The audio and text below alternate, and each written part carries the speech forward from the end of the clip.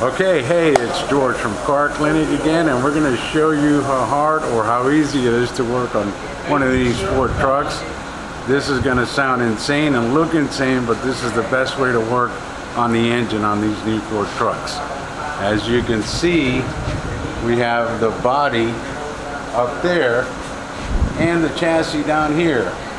Why do you ask? Well, there's your engine.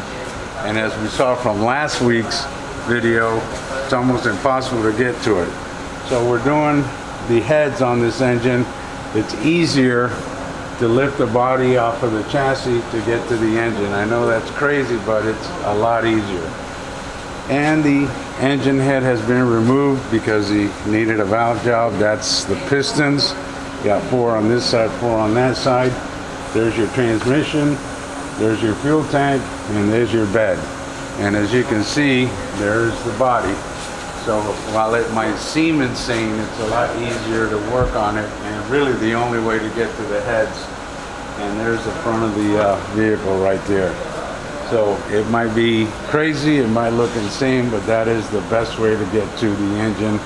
And it's almost impossible to do it when the body is on there because as you can see, there is no room.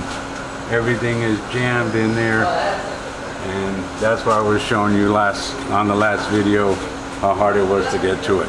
Thanks again, hit like, call us if you have any questions. Have a great day.